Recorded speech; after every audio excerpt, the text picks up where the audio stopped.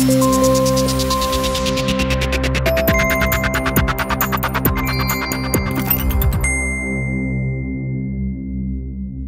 lorry driver accused of the manslaughter of 39 migrants was part of a global ring involved in smuggling large numbers of people into the UK, a court has heard. Maurice Robinson, 25, was arrested after the bodies of eight women and 31 men were found in the refrigerated trailer attached to his Scania cab in an industrial park in Grays, Essex, in the early hours of October 23. Robinson, who is known as Mo, appeared at Chelmsford Magistrates Court on Monday via video link. His hearing coincided with Prime Minister Boris Johnson's visit to Thurrock Council offices in Essex to sign a book of condolence to the victims. The gruesome discovery last week has sparked a huge international investigation to try and identify the victims. Essex police initially believed the 39 were all Chinese nationals, but Vietnamese men and women are now feared to be among the dead and other nationalities may be involved.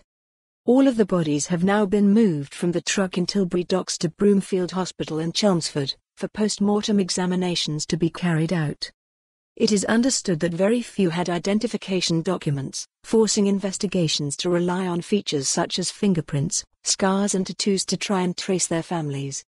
Robinson is charged with 39 counts of manslaughter of persons unknown, conspiracy to traffic people between December 1, 2018 and October 24, 2019 and conspiracy to assist unlawful immigration between the same dates. The human trafficking charge and the unlawful immigration charge both relate to the 39 bodies found in the lorry.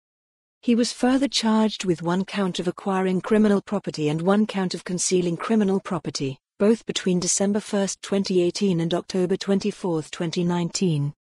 At Robinson's brief court appearance, Prosecutor Ogenru Onwuegweovwe described the conspiracy charges as a global ring involving the movement of a large number of illegal immigrants into the UK. The defendant was dressed in a grey prison tracksuit and spoke only to give his name, his address as Laurel Drive in Craigavon in Northern Ireland and his nationality as British. Robinson was not asked to indicate a plea and will next appear at the Old Bailey on November 25 for a plea and trial preparation hearing.